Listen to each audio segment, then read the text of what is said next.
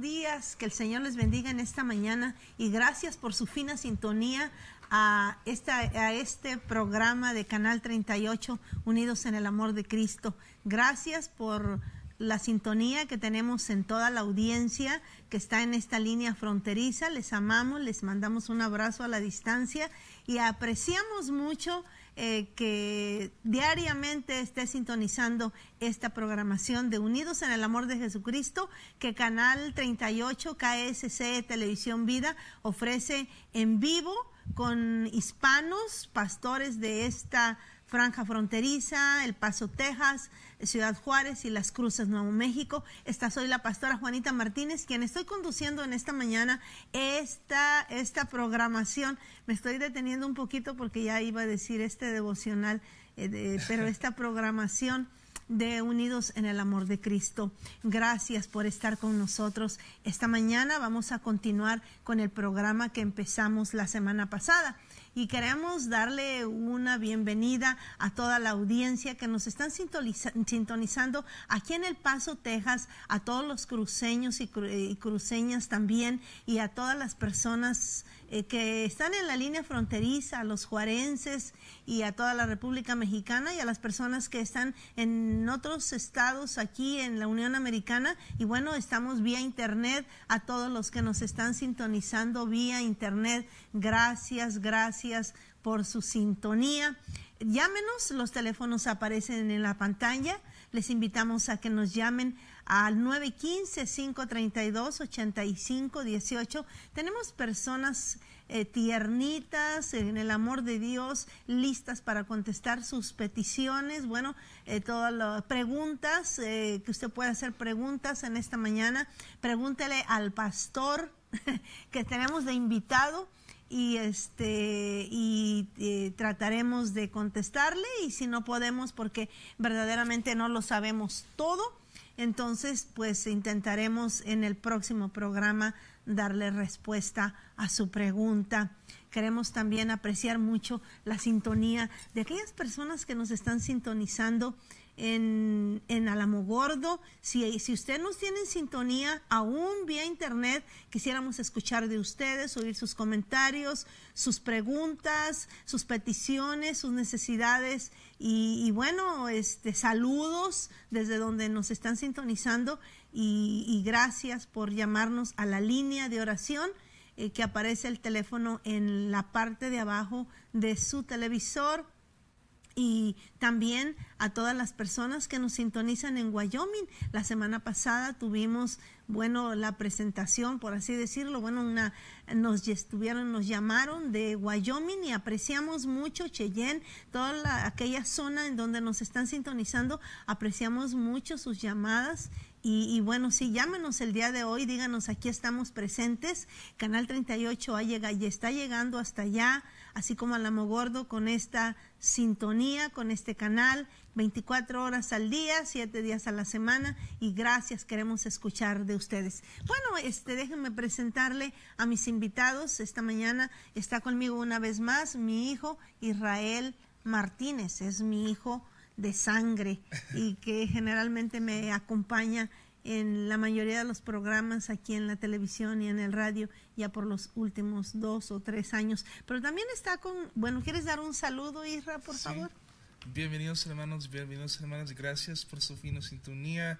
Si eres de Ciudad Juárez, Cheyenne, Wyoming, Álamo Gordo, El Paso o de las Cruces, o si nos está viendo por el live stream, Dios les bendiga. Y también esta mañana está con nosotros de Álamo Gordo precisamente haciendo presencia en Canal 38 el doctor Carlos Dávila de la Iglesia Triunfante. Eh, doctor, muy buenos días y gracias por estar con nosotros en esta mañana. Muy buenos días, eh, Juanita, eh, Carlos Dávila. para servirles, pastoreamos junto con mi esposa Mary la Iglesia Triunfante de Álamo Gordo. Es un placer para mí estar aquí, es un honor y doy gracias a Dios por esto. Y bueno, doctor Dávila, hoy vamos a eh, quedamos el programa de la semana pasada, tuvimos algunas preguntas importantes de la audiencia. Y, y, bueno, ahora este pues creo que vamos a continuar con el programa. Y, y ¿estamos de acuerdo con eso, doctor David? Cla- claro que sí, si me permites establecer la premisa otra vez con la cual comencé a hablarles, ah, ¿quiere que lo hagas ahora o después que tengas la lectura? Sí, déjeme, déjeme tomar esta lectura de el Salmo 119 y un versículo y que de veras eh, es impresionante cómo nos puede revolucionar, no solamente en la cabeza, porque yo durante el programa estaba pensando, pensando en mi cabeza, trabajando en muchas cosas, y, y- y- y no solamente eso, sino que también los cambios y ajustes que hacemos en nuestra vida espiritual eh, como hijos de Dios, como miembros del reino de la iglesia de Jesucristo y como ministros y ministras de Dios hacer los cambios necesarios en nuestra vida que son tan importantes, es algo aparentemente básico, pero es tan importante que hagamos estos cambios a la luz de lo que la palabra de Dios nos enseña. Y bueno, voy a leer esta escritura que se encuentra en el Salmo 119 y tenemos una escritura, el versículo 160. Dice, el conjunto, voy a leer desde el 159, dice, mira, oh Jehová, cómo amo tus mandamientos, vivifícame conforme a tu misericordia.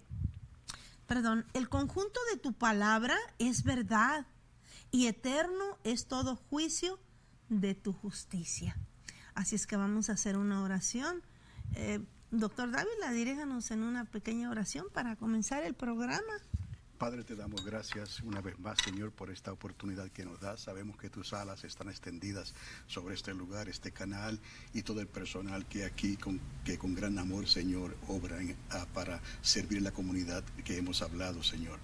Te pedimos, Espíritu Santo, Señor amado, que una vez más, Señor, en nuestros corazones nos ilumines el entendimiento, Padre, Sí, sabiduría para que podamos, como decía Job, Señor, enseñar es hacerle entender a tu Así, pueblo. Señor. En el nombre de Jesús. Amén. Amén, Amén. y amén. Bueno, doctor Dávila, si nos puede dar un recuento, como usted decía, eh, de un poquito de la semana pasada o, o la presentación para empezarlo. Bueno, y precisamente en ese eh, salmo eh, que, que estuviste leyendo, 119, 160, es, es la, la premisa.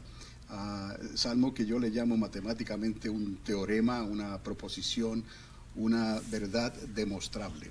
Y sí, ciertamente es demostrable. Si pensamos en, en el libro de Génesis capítulo 1, donde comienza el Señor que le, le instruyó a Moisés que escribiese Bereshit Bara. Normalmente entendíamos que ese Bara era que Dios creó de la nada, pero en realidad eh, nos hemos dado cuenta y, y quizás el pueblo de Dios ya se suponía esto, pero la ciencia hoy está descubriendo que no hay ah, un vacío absoluto, sino que ahí hay algo. Nosotros sabemos que sí. So, ese vara quiere decir que Dios no creó de la nada, Dios creó de sí mismo. Y luego Job en el capítulo 6 nos, nos dice que enseñar es eh, de, enseñarle al pueblo demostrando un- una verdad. Entonces, hacernos entender. Y luego eh, tenemos en Proverbios, eh, Proverbios 3, dice la palabra que eh, Dios puso eternidad dentro del corazón del, hombre. Y así en Hebreos 1 también dice la palabra que Dios es la esencia que todo lo llena. El Salmo 36 habla y dice que eh, en su luz vimos la luz.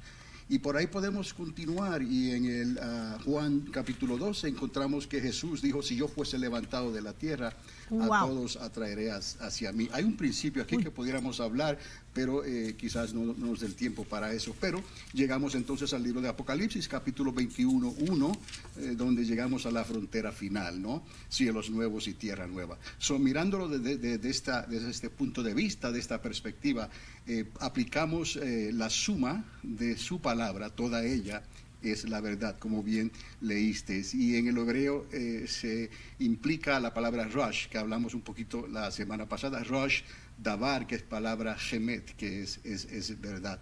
Entonces, desde el, el comienzo de la creación y la totalidad de toda ella, de su palabra, nos damos cuenta que es la verdad. Y Juanita e Israel, me pueden interrumpir en cualquier momento, hacer preguntas o, o comentarios. Ah, y entonces eh, voy a dar comienzo a, a la pequeña introducción que tengo en, en la, en lo que estoy estableciendo hoy ah, por, esto, por estos medios. Y ya eh, hemos comenzado con, con el mismo versículo, eh, eh, Salmo 119, 160. Entonces, para mí esto ha sido un contexto, un concepto, mejor dicho, matemático, que aplico continuamente al estudiar la Biblia desde Génesis hasta Apocalipsis. O sea, y quise decir que en el principio mencioné la palabra Bereshit, estaba el Espíritu de Dios. Y alguien llamó específicamente sobre, sobre esto del mensaje cristocéntrico y cómo servir a Dios de una manera cristocéntrica. Y vamos a hablar un poco sobre esto hoy.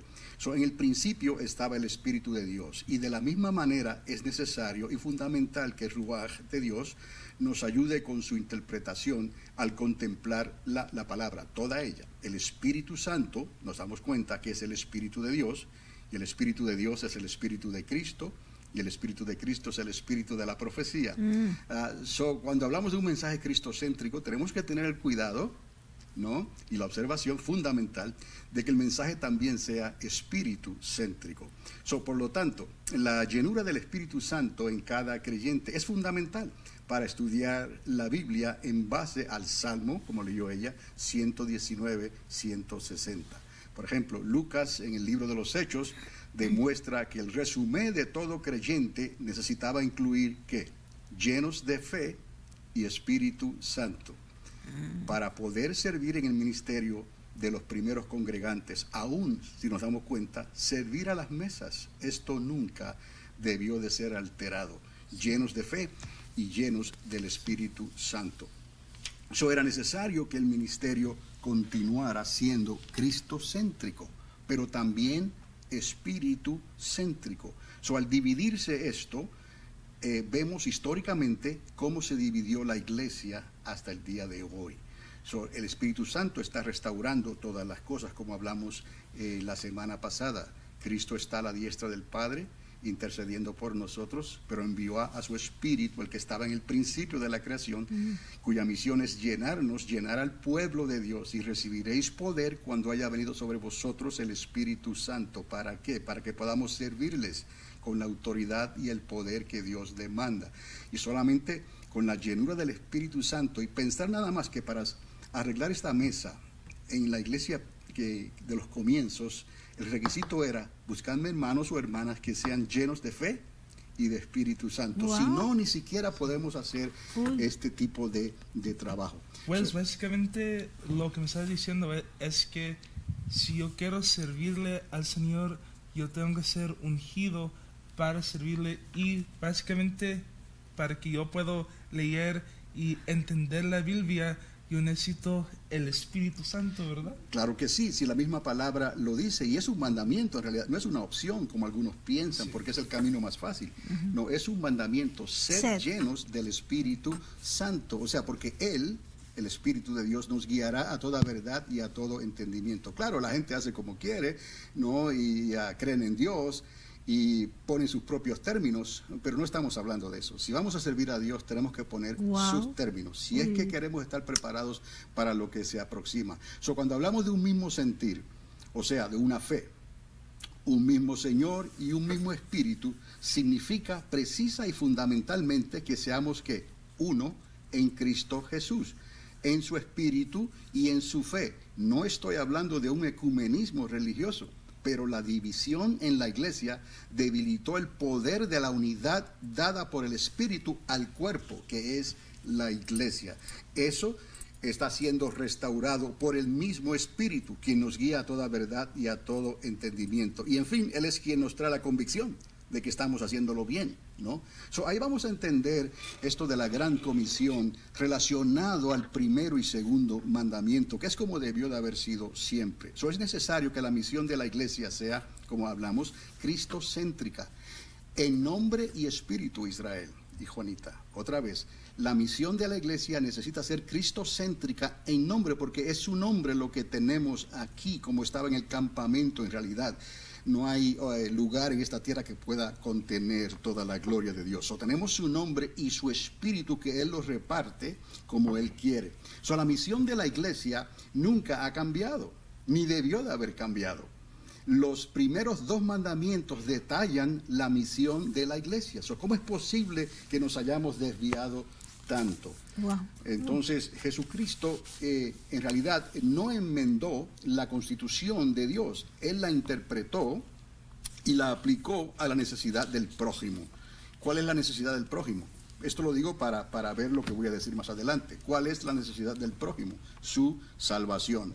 Pero la gran comisión de Dios seguiría siendo la misma hasta que Dios trajese los cielos nuevos y la tierra nueva. ¿Cuál es? Amarás al Señor tu Dios con todo tu ser. Esa es la primera prioridad. Y también a tu prójimo como a ti mismo. Eso es en añadidura a lo que ya Dios estableció. So, haz esto y vivirás y no habrás enterrado tu talento y cuando tu Señor regrese a pedirte cuentas y te encuentre haciendo esto, te dirá gozoso, entra en el gozo de tu Señor, en lo poquito fuiste fiel y en lo mucho te pondré. So, ese balance de servir a Dios primero y luego a tu prójimo como a ti mismo. Esto es algo que a algunos eh, se les hace difícil de, eh, entender porque aplican eh, las escrituras quizás de, una manera diferente según sus propias interpretaciones. Pero déjenme decirles algo, en la historia de la Biblia hay una historia de Fines, el, el hijo de Eleazar, el hijo de Aarón. ¿No? él hizo lo que los religiosos del momento no se atrevieron a hacer. ¿no? Eh, un príncipe de Simeón entró con una concubina al campamento en pecado y nadie hizo ni dijo nada excepto Fines. Él los atravesó con una lanza. Obviamente eh, hoy pues no, hablamos en esos términos, pero para mostrarles lo que es poner a Dios primero, ¿no? Y a la tribu de Simeón segundo, ¿no? Entonces nos damos cuenta que la respuesta de Dios es lo extraordinario de esto. Si, si, vamos a esa historia, nos damos cuenta que Dios se agradó con lo que hizo Fines, ¿no? Y dijo, oh, ha, evitado una grande mortandad en el campamento. Agradezco, o sea, me pareció bien lo que hizo Fines. Fines salió por Dios primero. So, la iglesia está siendo llamada a poner a Dios primero y todo lo demás vendrá por añadidura. Ahí vamos, esto está tomando tiempo, estamos en el tiempo final y el Espíritu Santo está haciendo esto posible. les digo que el Salmo 119, 160 nos está diciendo desde las azoteas de las casas, nos está gritando. Jesucristo lo puso todo en el centro de la creación. Vamos a ver este punto brevemente. Jesús lo puso todo en el centro de la creación. O sea, todo es cristocéntrico, espíritu céntrico. Cuando él dijo, si yo fuese levantado en esta tierra, a todos atraeré hacia mí. Juan capítulo 12, verso 32, para ser específicos. So, la fuerza de gravedad siempre obra hacia el núcleo, el centro. So, al él ser levantado céntricamente, toda la creación dependería de él. Él fue levantado. La fuerza de gravedad opera hacia el núcleo, hacia el centro. Vamos a ver lo que está haciendo Cristo en este momento, porque no existe otro nombre bajo los cielos y bajo los cielos de los cielos, dado a los hombres por toda la creación a la redonda, en que podamos ser redimidos, en el que podamos ser salvos. solo el mensaje de Cristo, cristocéntrico, nos puede salvar y para eso necesitamos el Espíritu de Dios que se movía en Bereshit al principio de la creación. Por eso necesitamos ser llenos del Espíritu de Dios y hablar de Cristo desde el punto de vista céntrico de la creación. Lo que Cristo ha hecho es colocar la obra no en el centro de nuestro sistema solar, sino colocó la obra que Él hizo en el centro de la creación, que es el centro del universo conocido. Entonces, Ah, cuando miramos esto de esta manera, eh, nos evitamos muchos problemas. Eh, en Él, y así, de esta manera que eh, les he hablado, Él ha colocado todas las cosas hasta que Él regrese. Entendamos esto, que Él regresará y pondrá a todos sus enemigos por estrado de sus pies. So, cuando miramos a Cristo en el centro de la creación de esta manera, no encontramos lugar para la división del cristianismo pues si somos guiados por el mismo espíritu, como debiera de ser, todo giraría equitativamente alrededor de Él, es decir, alrededor de Cristo. Entonces, eh, con esta premisa, eh, quizás ah, esto eh, trae preguntas e interrogantes, pero lo que estamos haciendo es poniendo el fundamento, que no es un fundamento nuevo, es que ya estaba puesto es que tenemos que ir a lo que Dios estableció primero. Ahí estaba Cristo escondido, revelado, y de ahí presentamos e interpretamos el nuevo, ¿no? Lo que Cristo hizo. Y la suma de su palabra, toda ella, es la verdad. ¿Y cómo lo podemos ver? Pues por el Espíritu Santo que estaba en el principio, estaba en el tiempo de Cristo y está con nosotros hoy y estará con nosotros siempre por toda la eternidad. un mensaje Cristo céntrico y Espíritu Santo céntrico, si podemos utilizarlo de esa manera. ¿Tienes alguna pregunta, María? pues, eh, Juanita, perdón. Él está pensando en su esposa, se llama Mary. Este, un saludo a la pastora Dávila si nos está mirando en Alamogordo y a toda la congregación de la Iglesia Triunfante. Bueno, eh, poniéndolo en la práctica, lo que hacemos lo decimos con unas palabras eh, diferentes tal vez, pero el centro y el objeto de toda revelación es Jesucristo, el Rey de Gloria, el Dios de majestad y, la llamada en la práctica es para que nosotros pongamos nuestros ojos en, el, Jesucristo de Nazaret, que nosotros eh, miremos a Jesucristo, nos rindamos a Él, le sirvamos a Él, lo miremos a Él, lo busquemos de todo corazón a Él. Él es el centro, que Él sea completamente el centro, vivir para Él él, darle nuestra vida a Él, rendirnos a Él y nacer de nuevo para que nosotros podamos recibir esa revelación del Espíritu Santo. Es a través también de tener a Jesús en nuestra vida. Y, vemos que eh, ha sido más retante después de la conversión servir a Cristo. En realidad ha sido más retante. Y era la preocupación del apóstol Pablo por todas las iglesias. ¿Por qué? Porque hay diferentes doctrinas, diferentes creencias y comienzan a quitar de aquí y a quitar de allá. Y entonces, eh, si desconectamos este principio bíblico que tiene que ser espíritu céntrico, entonces eh, se detuvo la iluminación confiable, que es verdadera, porque todo tiene que ser probado a la luz de la palabra. Cualquiera puede decir cualquier cosa, pero trae la fórmula. Es como la fórmula matemática que les mencioné. E es igual a mc al cuadrado. La energía es igual que la masa, la masa es igual que la energía. Pero hay algo, hay una constante que es indispensable, que es la luz. Todo esto tiene que ser multiplicado por el cuadrado de la velocidad de la luz. Entonces nos damos cuenta que Dios es luz. Él lo llena todo. Entonces la luz está en el espacio que antes decían un vacío. No, no es un vacío ¿no? Está como el pez dentro del agua. Esa es, esa es su naturaleza, porque Dios es, es luz. Entonces tenemos que tomar de la palabra cada día, tomar de la palabra, pero a la luz de la revelación del Espíritu Santo. Claro que sí, claro que sí. no es nada más tomar aquí y allá y decir... Ah, eh, eh, eh, exacto, y, y, es que la intimidad con Dios no es nada complicado ni nada pesado, en realidad es dejar que el Espíritu Santo eh, nos enseñe a vivir y nos muestre la verdad de Cristo continuamente. Si hacemos eso, es más, Jesús dijo, en estos dos mandamientos se encierra toda la, toda la palabra, todas las profecías. Pon a Dios primero y entonces a tu prójimo segundo. No está diciendo que pongas a tu, o trates de poner a tu prójimo segundo, el eh, primero, perdón, y luego pongas a Dios como puedas. No, tiene que ser de esta manera, Dios primero y el prójimo segundo. Si hacemos a Dios primero, el prójimo se va a dar cuenta que verdaderamente nuestro amor está dedicado a Dios, primeramente al Padre. Y ese amor del Padre a través de nosotros puede fluir hasta el prójimo. Y más el prójimo que quiere buscar de Dios, porque esa es la idea hemos llegado a un tiempo, si puedo más adelante lo voy a mencionar, donde se está empujando a todos a entrar. Es, es la palabra que encontramos, que Jesús llega el momento en que dice, fórzalos a, entrar. Y si podemos, hablamos un poquito sobre. Sí, pero con respecto a la escritura que usted mencionó de Moisés, cuando el Señor le dice a Moisés todo lo que estaba pasando, le estaban pasando a ellos en el desierto, las serpientes ardientes y todo lo que les pasaba el Señor, y muy, muriendo muchas personas, el Señor le dice a Moisés este, que levante, ¿verdad? La serpiente en el desierto para que a la distancia desde donde estaban todos y veían. Pero la, eh, eh, es un tipo de que ahora nosotros tenemos la necesidad de levantar a Jesucristo. No nuestras doctrinas nuestros dogmas nuestra religión nuestra manera de pensar para que de veras pueda venir la revelación del Espíritu Santo.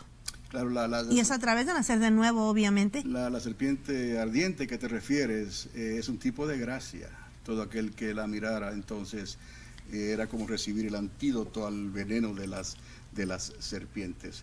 Pero era de bronce. Eh, sí, Y el bronce la- es un tipo de maldición en donde entra la gracia Sí. y obviamente que la serpiente representa o es un tipo de los demonios. Y era, Y- pero era un favor inmerecido. Era un favor ellos, inmerecido. Ellos no se merecían ese, eh, se le llamaba la serpiente ardiente en algunas traducciones por el brillo. Pero así como Moisés levantó la serpiente en el Así. desierto, nosotros tenemos que levantar. Hay una necesidad impresionante en todo el globo terráqueo, empezando con la iglesia cristiana, de levantar a Jesucristo para que quitemos de nuestras vidas, de nuestras familias, de nuestra nación, de nuestros ministerios, todo lo que no es de Cristo, para que Él los pueda traer hacia y, Él. Y el, y el énfasis debe, debe de ser, yo creo que es lo que está ocurriendo, que al levantar el nombre de Cristo eh, con su espíritu, el espíritu es vivificante. Porque quizás alguien trate de levantar solamente el nombre de Cristo, ¿no? Pero le, le- no, no tiene el espíritu vivificante que se supone, porque dice la escritura claramente, ser lleno del espíritu y ser llenos de fe, ¿no? Bajo un mismo Señor y un mismo Espíritu Santo. So, una vez esto se, se pone de acuerdo, eh, todas las cosas que han de suceder van a suceder y Dios siempre se llevará, se llevará la gloria como debe, como debe de, de ser. So, Sí. Entonces vamos, doctor Dávila, y sí, ahorita yo sé que tienes una pregunta también. Vamos a ir a un corte musical y regresamos en un momento. Gracias por continuar con nosotros en este programa Unidos en el Amor de Cristo. Bueno, estamos, nos quedamos terminando hablando acerca, en- antes del corte, acerca de la importancia de que Cristo se ha levantado y, tenemos, hay una urgente necesidad en la Iglesia de Jesucristo, en todo el globo terráqueo, en todo el mundo, en todo el planeta Tierra, una urgente necesidad de que Cristo de veras se ha levantado, que no se ha levantado eh, las multitudes que estamos a las que estamos sirviendo, que no se ha levantado un ministerio, que no se ha levantado ningún nombre, ninguna persona, ninguna iglesia, ninguna denominación, la personalidad del, predicador, ni que se ha levantado nada, absolutamente nada, sino que levantemos a Jesús porque es el único Jesucristo, es el único que puede sanar nuestra alma, saciar nuestra alma, llenar nuestro vacío. Él es el único que puede traernos, eh, llenarnos en el hombre interior. Y así es que nosotros eh, tenemos que ser llenados de Jesús, levantarlo a Él para que nuestra alma sea llenada, sea saciada, porque no hay otro nombre, como decía usted, doctor Dávila, dado a los hombres en que podamos ser salvos solamente en el nombre de nuestro Señor Jesucristo. Y si levantamos a Jesús en nuestras vidas, bueno, podemos decir, bueno, si levanto a Jesús, ¿de qué estamos hablando? Estamos hablando de la sangre de Cristo, estamos hablando de la cruz del Calvario, del precio que pagó, estamos hablando de que Él nos hizo libres, Él nos libertó del pecado, de que Él nos perdonó, estamos hablando de que nos liberó de la maldición, de la miseria, nos liberó de, de, de la maldición, de la muerte, estamos hablando de vida, por eso tenemos que levantarlo. Y mientras más lo levantamos, más estamos aptos para movernos en el reino de los cielos. De acuerdo a los principios de Dios. Estamos hablando no de una religión, sino de un reino. Y por eso la importante necesidad, más que nunca en estos últimos días, de levantar a Jesucristo. Y aún a la distancia, la gracia que usted decía, a través, por ejemplo, de un canal de televisión, de un radio, de una llamada telefónica, a la distancia, usted puede saciar su alma y le queremos invitar para que reciba a Jesús en su corazón, para que le llene ese vacío, para que sea su alma saciada. Y yo quiero pedirle a Isi que nos, eh, si, nos- si usted dice, yo quiero llenar ese vacío, yo quiero de ese Jesús que está hablando el doctor Dávila, que de la nada Dios está en la nada y, y lo que nos está hablando acerca de la palabra de Dios, de esa matemática, matemática, su, la premisa que él presenta. Y bueno, pero es, se trata de que solamente Él lo tenemos que levantar en nuestras vidas, en nuestras congregaciones, en nuestros ministerios y como hijos de Dios tenemos esa urgente necesidad de levantarlo para que Él pueda traer hacia así, hacia Él, a todos los que estén. Y si, yo, yo le invito, si usted dice, yo quiero eh, recibir a ese Jesús que llena mi vacío, del que está hablando el- del- desde la semana pasada el doctor Dávila, pues es muy simple, a través de una oración. Y si yo, yo quiero que los invites y, y- los dirijas en una oración a las personas que dicen, yo quiero que Jesús, ese Jesús venga a saciar de mi alma, me venga a llenar, porque no venimos con palabras persuasivas de hombre, sino con demostración del poder de Dios. Y lo primero que tenemos que hacer es recibir a Jesús en nuestro corazón. Sí. Si recibimos a, si recibimos a Jesucristo, recibimos su salvación. Pero, ¿usted quiere saber algo? Nosotros no estamos aquí sin el Espíritu Santo. Y usted me, y, usted me y, y usted me puedes preguntar cómo eso es posible. En Génesis 2.7, el hombre fue introducido al Espíritu Santo por el soplo de vida de Dios, el rúa de Dios. Y Génesis 2.7 dice, entonces Jehová Dios modeló al hombre de alquía del suelo y sopló en su nariz aliento de vida y fue el hombre un ser viviente. Así que Dios siempre ha sido generoso con nosotros. Él nos dio su único hijo y, y después de eso, Él nos dio a su Espíritu Santo. Si usted quiere recibir a Jesucristo, por favor repite esto conmigo. Señor Jesucristo, yo te reconozco como mi Salvador. Yo reconozco que yo soy un, pecador. Tú muriste en, en el cruz del Calvario para mis pecados y yo soy salvo solo por tu precioso sangre. Yo reconozco que tú muriste en la cruz, pero tú te, tú te resucitaste tres días después.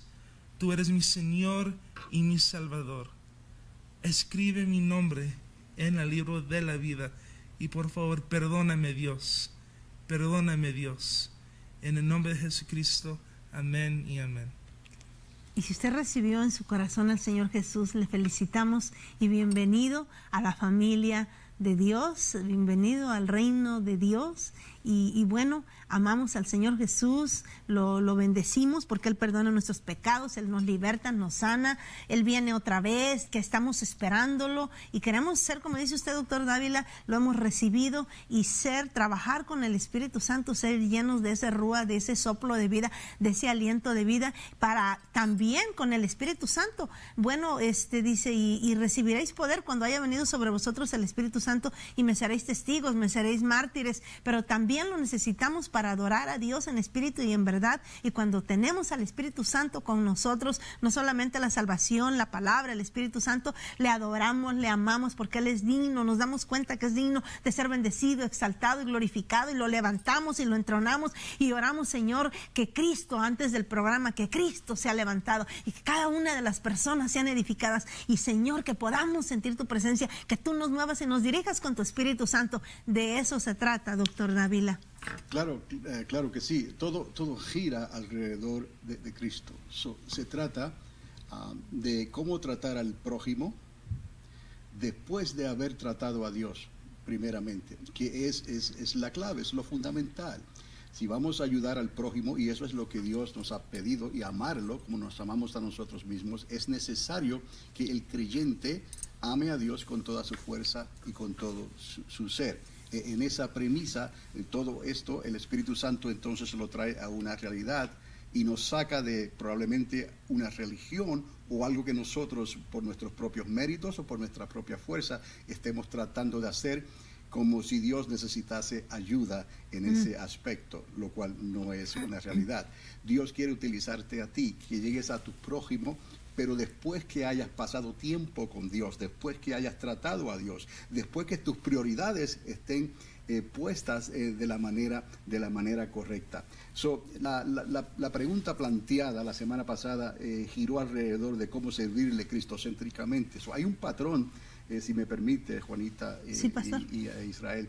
Hay un patrón familiar en los evangelios que ocurre durante los tres años del ministerio de Cristo entre Jerusalén y Betania, digamos. Dos hermanas, dos hermanitas muy diferentes, con prioridades muy, pero que muy diferentes. Eh, ellas eran Marta y María. Ustedes ya quizás conocen la historia. So, ambas nos dan una idea en la dirección que se dirige la iglesia de hoy.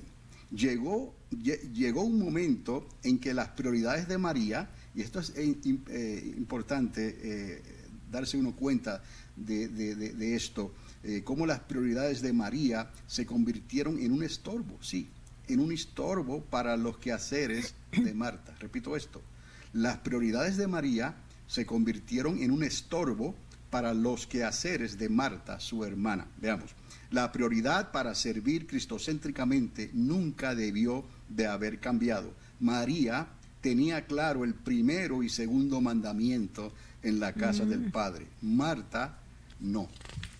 Entonces María sabía en su corazón que una cosa traería la otra. Buscad primeramente a Dios y lo demás vendrá por añadidura. Pero no en el orden equivocado. Es, es, es, el, es la, ah, lo que necesitamos entender hoy en día también, que Dios estableció el primero y segundo mandamiento en ese orden, no el segundo primero y el, y el primero segundo. Ese es el orden que Dios quiere que nosotros le, sirvamos. cada vez que alguien necesitaba algo, les estoy mostrando ahora con Marta, ahí estaba ella para ayudarle. Otra vez, cada vez que había una necesidad, que alguien necesitaba algo, ahí estaba Marta para ayudarle con su afán. Ahora, cada vez que el Señor necesitaba decirles algo, ahí estaba María para escucharle. Es la diferencia. Marta lista para, para trabajar y atender a los invitados, digamos, ¿no? Entonces María estaba lista para escuchar al que hizo la invitación, al que tenía algo que hacer por, por ellos. ¿Cuál de las dos estaba obedeciendo mejor los mandamientos? Obviamente María, porque servir a los pies de Cristo primero, antes que las necesidades de los demás, nunca, y es lo que el Señor dijo, nunca le sería quitado. Marta, aunque estaba sirviendo bien al prójimo, dándole de su amor, descuidó el amor del Padre por atender siempre a los convidados, se olvidó de atender a aquel que los había invitado. hoy el padre de familia ha dicho, fuérzalos a entrar, que fue el comentario que hice al principio, fuérzalos a entrar porque hay lugar para que el mundo entre y participe. Tal vez deseen sentarse a la mesa y aceptar la invitación. Es el propósito. No podemos eh, pensar por ellos. Ellos tienen su libre albedrío. Le presentamos a Cristo levantado, cristocéntricamente, Espíritu Santo céntrico, y entonces ellos caen bajo la convicción de quién? Del Espíritu Santo. Y entonces usan el libre albedrío y ellos deciden, sí Señor, me entrego a ti completa, completamente. So, hay lugar para que el mundo entrase y participara y tal vez desearan sentarse a la mesa y aceptar la invitación. Tráelos a mi casa, dijo el Señor, pero no les des la prioridad a ellos. ¿De quién sigue siendo la prioridad? La prioridad sigue siendo del padre de familia. Ahí estamos nosotros en la iglesia. Esto no ha cambiado desde los días de Moisés, no ha cambiado desde los días de Abraham. Ese es el propósito de Dios, esa es la gran comisión. So, a los hijos ahora les está diciendo, preparad mi mesa. A nosotros nos está diciendo, preparad a la iglesia, preparad mi mesa, porque estoy a punto de sentarme con vosotros a partir el pan. María ya ha decidido lo que va a hacer. Marta todavía lo está pensando. Mm. Entonces, ah, e, es, la perspectiva, la perspectiva, como se, si lo puedo decir así, Ah, y la premisa que quiero, eh, eh, que he deseado poner, porque no es nada nuevo en realidad, es asunto de conectar la palabra de Dios, la palabra de Dios. No estamos conectando otras cosas, otros eh, fundamentos, estamos conectando la palabra de Dios como Dios la escribió y la llevó al, Nuevo Testamento que la hemos recibido y, todo junto entonces nos presenta el plan de Dios. So, María para concluir, María representa al pueblo que oyó la voz de su Señor durante el clamor de la medianoche. La iglesia necesita entender esto, porque estaba sentada ¿dónde? A la mesa, adentro, ya esperando. Ese es, el, lugar, ¿no? Si tienes a Dios primero, hay un lugar en tu corazón para Él primero. Aunque estés haciendo otras cosas, esas cosas son secundarias. Pero estás primeramente sirviendo a Dios, o estás ahí presente a la mesa con Él. Marta, por otro lado, representa al pueblo que estaba afuera, ocupado en los afanes con los invitados. Tanto ameritó eh, con su afán por los demás que descuidó la lámpara que tenía en sus manos. Y cuando más ocupada estaba ella en sus quehaceres, el Señor pasó de largo. y Marta no lo percibió, no lo entendió. So, Dios está llamando al pueblo a que ajuste sus prioridades. Esa es la gran comisión. Así sigue siendo. Amarás al Señor tu Dios con todo tu ser y a tu prójimo como a ti mismo. Lo demás vendrá por añadidura. Jesús lo estableció, Jesús lo aplicó, ir y salir y llevar este evangelio. Pero la prioridad tiene que seguir siendo la misma, que son los mandamientos de Dios, no los mandamientos interpretados por el hombre. El mandamiento de Dios, el uno y el dos, y ahí se encierra toda la ley y los profetas. la, la, uno piensa que un, buen cristiano tal vez es que ellos tienen, tienen que servir a ellos cuando algo no les pase, servir sus necesidades. Pero lo que tú me estás diciendo es que un buen cristiano verdaderamente pone Dios primero, luego todo lo demás es secundaria, ¿verdad? La fe eh, eh, anticipa, está anterior a las obras. Ah, La fe en Dios es primero a las obras. Entonces, si atendemos las obras primero y descuidamos a Dios, hemos cambiado el orden de Dios. Hemos tratado de enmendar la constitución de Dios. La constitución de Dios dice mandamiento 1 y mandamiento 2. Ese es el orden. Si se cambia eso, el creyente ha tratado de enmendar la constitución de Dios. No podemos hacer eso. Porque es un fracaso. Se está hablando de lo que le pasó a Marta, un fracaso. Eh, es, una imprudencia también. Eh, el Señor se lo dejó saber a Marta. Ah, Marta, tan afligida estás con tus afanes, pero a esta, la parte que ha tomado, no, nadie se la va a quitar, porque ella dejó todo, trajo todo a un alto y vino a los pies del maestro, quien tenía el mensaje. Y el maestro es quien había hecho la invitación. So Marta se preocupa por los invitados, mientras María se está preocupando por el Señor, quien los invitó a ellos. ¿Dónde tenemos que estar nosotros? Tenemos que estar en los dos lugares, pero primeramente tenemos que estar a los pies de Cristo y después salir. Pero ¿cómo vamos a salir? ¿No? Salimos porque somos enviados, pero ¿por quién? Por Cristo, pero ¿quién dio ¿Quién dio Cristo en nosotros? ¿A quién dio en nosotros para que pudiéramos salir efectivamente y no saliéramos con nuestras propias ocurrencias y tratemos de cambiar la constitución de Dios? Por el pues, Espíritu Santo, llenos del Ruach HaKodesh, ah. llenos del Espíritu Santo. Y entonces Él os ah. guiará a toda verdad y a todo entendimiento. Ah, y la imprudencia es tan grande que puede causar muerte espiritual. Eh, estamos hablando de eso. Claro, hay un peligro que se menciona, que Pablo lo menciona, que es la apostasía, y muchos se hacen de la vista gorda. La apostasía ha estado siempre, pero habría una señal de apostasía para los tiempos finales, y la apostasía es lo único que puede que hacer, hacer que un creyente cuyo nombre estaba inscrito en el libro de la vida sea borrado. Es, el peligro de la apostasía. Muerte espiritual, sí. Um, si hacemos lo que Marta hizo, básicamente lo, lo que nos está diciendo, porque ella rompió esa ley, rompió ese mandamiento, no fue con el cobertura de Dios, ¿verdad? Rompió el molde a su manera, con buena intención. Se acordarán de la historia de ese rey Saúl. Rompió el molde varias veces, supuestamente con su buena intención. David, con todos sus defectos, David mantuvo el molde en su lugar. Dios primero. el tiempo final está marcado por un pueblo que por un momento lo ha dejado todo para atender al llamado del padre de familia. A prepararse, ese es el llamado. Buscará la llenura del Espíritu Santo y saldrá por los caminos para llenar la casa, su casa. Repito esto, el tiempo final será marcado por un pueblo que por un momento lo ha dejado que todo para atender el llamado del padre de familia. ¿Cuál es ese llamado?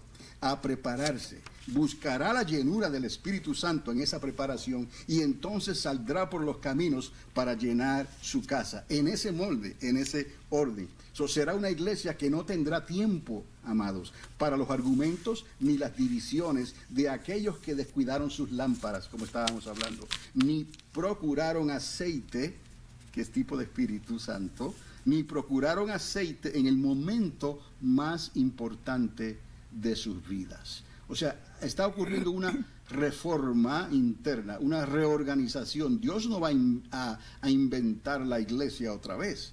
No, Él va a sacar de su iglesia de lo que Él ya estableció y lo va a poner en ese orden. Los que quieran, lo aceptan, obedecen y lo hacen. Y los que no quieran serán los que luego tocarán a la puerta, ¿no? Diciendo, pero si yo era esto y yo era lo otro, y el Señor tendrá que decirle, pero no me tenías a mí primero.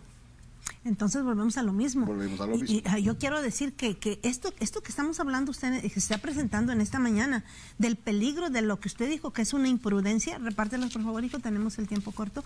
Una imprudencia sí puede traer, es tan trágico, tan terrible para la iglesia, que, puede traer una muerte espiritual, le llamamos apostasía, le llamamos, eh, eh, o se descuidaron en el mejor momento, sus lámparas no, no, está, no tenían aceite, no, estaba, no había lumbre, no había fuego de Dios. Y qué tragedia. Y yo creo que no es la voz de usted, doctor Dávila, la voz de Israel, la voz mía. Yo con todo mi corazón creo que esta, eh, eh, eh, a la necesidad grande que hay de levantar a Cristo con la revelación de la palabra a través del Espíritu Santo, es eh, un eco que puede estar retumbando que desde la, eh, va a estar por toda la eternidad ahora mismo retumbando en el universo, puedo decir, no sé cómo decirlo, este, en el universo retumbando esta necesidad tan importante de, de- de regresar a Jesús, de levantarlo, de la sangre de Cristo. El mensaje, gracias Berta, creo que fue Berta la que hizo la pregunta. Berta, un abrazo a la distancia y Dios te bendiga y gracias por la pregunta y ojalá que haya preguntas en esta mañana. Llámenos con sus preguntas, continuamos la próxima semana, primeramente Dios, pero es como un eco que retumba desde, desde el infinito, desde, mm, desde el cielo, cae eh, eh, esa, esa palabra de esa urgente necesidad de de veras las personas no solamente salvas, sino nacer de nuevo y los que hemos nacido de nuevo, estar alimentándonos, levantar a Jesucristo y que eh, este, estamos hablando ahorita en esta mañana de que queremos ser y que nosotros tenemos que ser una iglesia llena del Espíritu Santo, cristocéntrica, espiritualmente eh, es- Espíritu espíritu, céntrica. espíritu céntrica es la palabra que usted dio y tenemos que levantar a Jesucristo, la sangre, la cruz del Calvario. Eh, eso no va a pasar de moda, tenemos que hacerlo porque se han levantado tanto, tanto que ya no, aquel predica bonito, aquel tiene mucha gente, aquel huye y acá hay programas, aquí hay circo, maroma y teatro y luces y sonidos y todo y hay gente y hay todo, sí, pero, pero tenemos que levantar a Jesucristo, el, no sé, el más allá o el más acá, está el eco gritando, reclamando esta urgente necesidad para que las almas no se pierdan y podamos ser salvos. Y bueno, y los que somos salvos, guardarnos en, en- en esa llenura a través del Espíritu Santo. Y Juanita, hay algo. Tenemos La Biblia dos está- minutos. la Biblia está llena de, de- de estas verdades. ¿Qué es lo que probará? ¿Qué es lo que probará la obra? El fuego. ¿El es fuego? el fuego. El fuego de Dios. ¿Y qué va a probar? Lo que es heno, hojarasca Y madera. o madera. Tenemos un minuto. Bueno, eh, vámonos rapidito. Mire, Olga García, de aquí de las El Paso, Texas, dice que usted conoce a Olga García, felicita al pastor eh, Dávila, dice que fue su pastor en Alamogordo hace cinco años y fue una bendición para ella y para su esposo, lo felicitan altamente. Y muy rápido, tenemos un minuto verdaderamente. Benjamín pide para salvación y para los Yo creo que, que no tenemos el tiempo. Vamos a hacer una oración. Vamos a despedir el programa. La próxima semana te eh, continuamos primeramente. Dios le vamos a pedir al, al- perdónenos que no son muchas peticiones. Es imposible que las podamos leer. Son muchas y gracias por sus llamadas. Ahorita tomamos una personalmente, una por una, y vamos a orar. Doctor Dávila, hay peticiones de salvación, hay peticiones de sanidad, provisión para una cirugía, hay enfermos. Bueno, eh, que el Señor, eh, bueno, aquí estoy mirando, este, sí, sí, sí, sí. Vamos, doctor Dávila, 30 segundos. Padre, bueno, no queremos perder esta salvación tan grande. Gracias, Padre amado, porque ciertamente, Señor, nuestro nombre ha sido inscrito en el libro de la vida. So, Señor, queremos ponerte primero para que todas estas cosas que tú has prometido en tu palabra, Señor, se hagan una realidad, no solamente en nuestras Diez vidas, segundos. sino a nuestro alrededor. Todas estas peticiones Sí, de Señor. sanidad, todas estas peticiones, Señor, de salvación, todas estas peticiones de problemas, Señor, las presentamos delante de ti Cúbrelas y tu enviamos tu palabra, enviamos tu palabra, esta semilla por estos medios televisivos ha sido enviada, que caiga en cada corazón, Padre amado, que obre, Señor, y que traiga fruto, fruto en victoria, abundancia. bendición. La declaramos, Sí, Padre, por el. Espíritu Santo de tu palabra, en tu nombre, Jesús de Nazaret, Gracias, Señor. sea hecho. Amén. Un- tres segundos, una, un, un segundo, Dios me los bendiga, tengan un buen día. doctor Dávila. Igualmente, que Dios les continúe. Dios les bendiga y el próximo viernes, si el Señor nos permite.